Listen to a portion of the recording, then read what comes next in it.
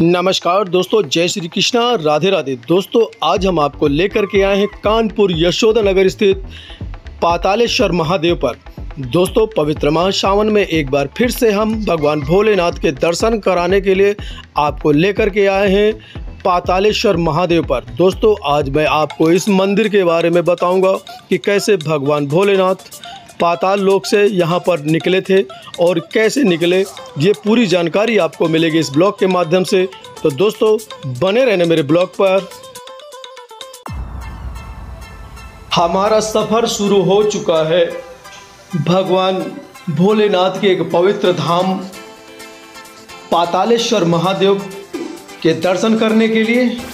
तो दोस्तों, आज हम आपको भगवान भोलेनाथ के पवित्र धाम पातालेश्वर महादेव के आपको दर्शन कराएँगे। और वहीं जाने के लिए हमारा सफ़र शुरू हो चुका है। बहुत ही पावन, बहुत ही दिव्य, बहुत ही प्राचीन आज आपको भगवान भोलेनाथ के एक दिव्य धाम पातालेश्वर महादेव, जो कि कानपुर यशोदा नगर में स्थित है, वहाँ पर हम आपको लेके चलते हैं। तो दोस्तों चलते हैं फिर।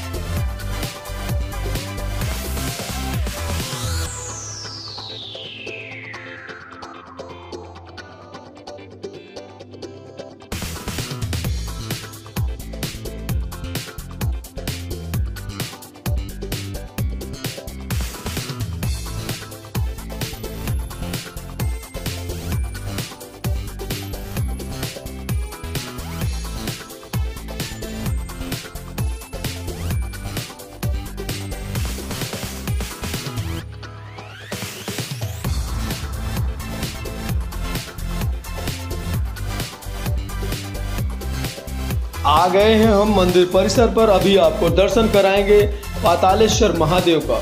देख रहे हो हरे भरे पौधे लगे हैं मंदिर परिसर के अंदर और बहुत ही बड़ा यहाँ पर ग्राउंड है, जहाँ पर भक्तों की भीड़ लगती है। दोस्तों, सावन के सोमवार से पहले ही मैं ये वीडियो शूट करता हूँ, क्योंकि सोमवार के दिन यहाँ इतनी ज़्यादा भीड़ हो जाती है, मेला सा लगता है। जैसा कि आप देख रहे हो, यहाँ पर माला, फूल, प्रसाद सब आपको यहीं पर मिल जाएगा। यहाँ से आप प्रसाद खरीद सकते हो। और चलते हैं मंदिर परिसर की तरफ़ और देखते हैं कि पातालेश्वर महादेव का मंदिर कैसा बना हुआ है। दोस्तों, जैसा कि आप देख रहे हो कि देखने में मंदिर बहुत ही भव्य, बहुत ही खूबसूरत मंदिर है। भगवान भोलेनाथ के दिव्य धाम पातालेश्वर महादेव के आपको आज दर्शन कराने के लिए लेकर आया हूँ। तो दोस्तों जैसे ही मंदिर परिसर के अंदर प्रवेश करते हैं तो आपको सबसे पहले नंदी जी के दर्शन होंगे।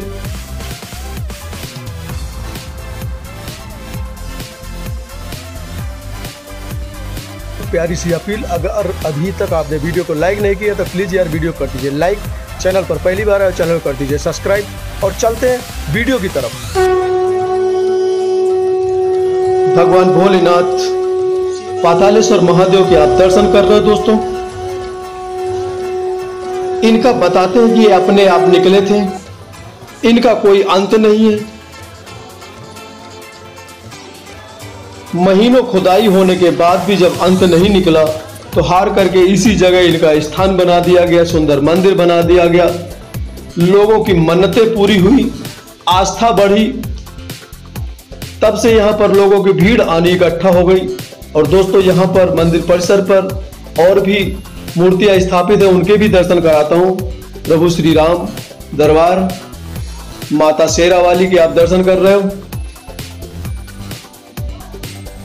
और बजरंग बली जी के आप दर्शन कर रहे हो इस समय।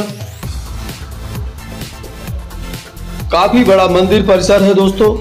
यहाँ पर भक्त आराम से दर्शन करते हैं, भगवान श्री कृष्ण और राधा जी के। आप इस समय दर्शन कर रहे हो। बहुत ही खूबसूरत मंदिर है।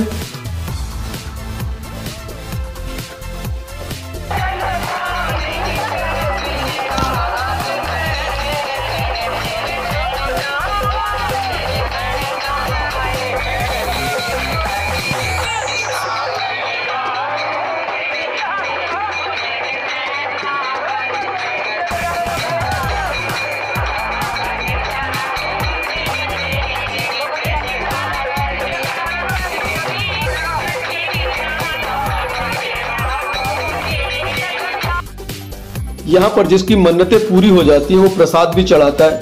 भंडारे भी होते हैं, जैसा कि आप देख रहे हो दोस्तों, यहाँ पर भंडारा चल रहा है। और लोग प्रसाद पाते हैं, भंडारा खाते हैं। और ये मंदिर परिसर में ही आप भंडारा कर सकते हो। बहुत जगह है यहाँ पर।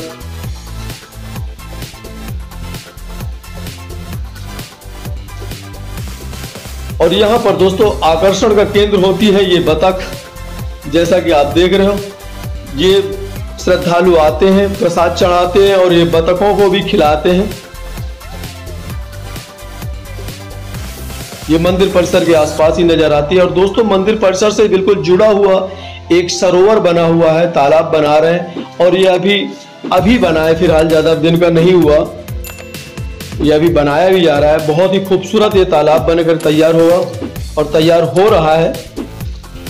जैसा कि आप देख रहे हो दोस्तों, आज हमने कानपुर यशोदा नगर स्थित पातालेश्वर महादेव, जिनको महादेवन के नाम से भी जानते हैं, आप उनको दर्शन कराया।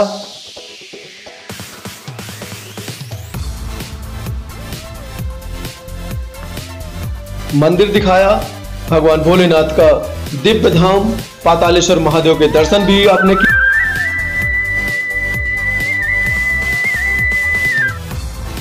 तो दोस्तों आज का ब्लॉग आपको कैसा लगा? अगर अच्छा लगा तो यार इसको कर देना लाइक चैनल पर पहली बार है चैनल कर देना सब्सक्राइब इसी तरह से भक्ति भाव से परिपूर्ण एक वीडियो के साथ आपसे फिर मुलाकात होगी। तब तक के लिए जय हिंद, जय भारत, वंदे मातरम।